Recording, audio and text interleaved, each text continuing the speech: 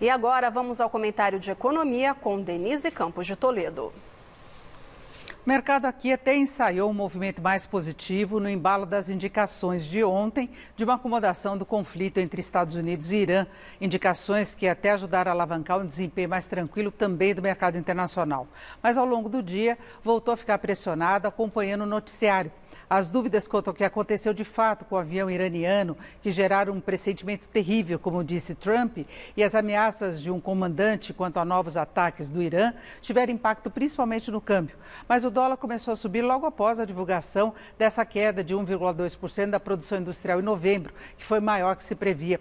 Isso pode levar até uma certa reavaliação do quanto a economia cresceu no ano passado e o avanço que pode ter agora em 2020. Mas o principal fator de instabilidade é mesmo a crise entre Estados Unidos e Irã e todas as implicações econômicas e geopolíticas que pode ter.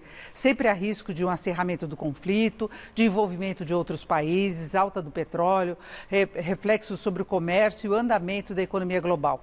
Isso está jogando até um pouco para segundo plano a expectativa de assinatura do esperado acordo entre China e Estados Unidos no que se refere à guerra comercial, que tem sido uma outra grande fonte de incertezas. Por mais que o mercado tente manter um tom mais otimista, a tendência, por enquanto, é de mais volatilidade, até que se tenha um desfecho para essa nova crise e um desfecho que seja positivo, em que prevaleça o entendimento. Laerte.